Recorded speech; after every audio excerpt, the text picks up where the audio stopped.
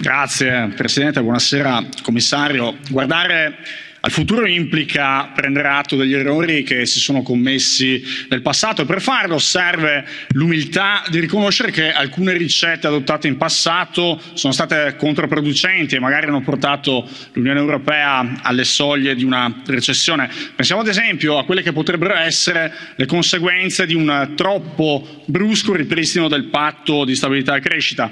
Affrontare l'impatto economico della pandemia implica riflettere sul Next Generation Generation che effettivamente ha avuto delle tempistiche troppo lunghe e quindi c'è il timore che lo stimolo all'economia non sia sufficiente nonostante la montagna di debiti che graverà sulle generazioni future, nonostante le troppe condizionalità ancora presenti nel testo del regolamento. Una sorta di spada di Damocle che avrà delle conseguenze sulla programmazione del bilancio degli Stati nei prossimi anni.